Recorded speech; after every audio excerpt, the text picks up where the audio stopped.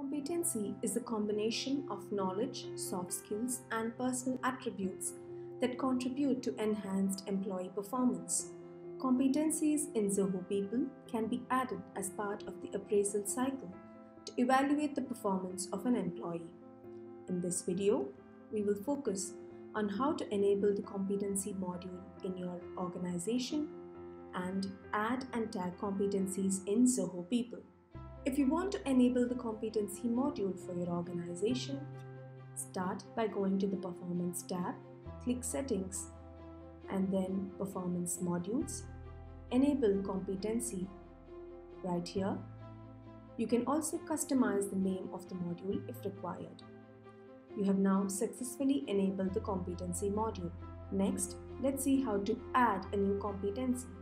Go to the Competency tab below Settings click Add Competency on the top right corner of your screen. Enter the title of the competency, enter a description if required, and click Submit. With that, you have now successfully added a competency. Next, let's see how to tag competencies. Start by clicking the drop down on top. Select if you want to tag the competency to a designation, department or role Click Tag Competency beside it. Select the designation for which you want to tag the competency. Choose the competencies. Enter the weightage for each competency. The weightage limit cannot exceed 100%. And finally, click Submit. You have now successfully tagged competencies. Next, let's see how to tag competencies to a specific employee.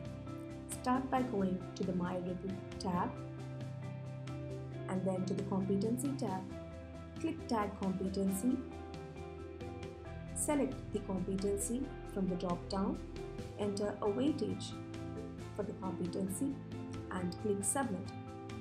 With that, you have successfully tagged a competency to the employee.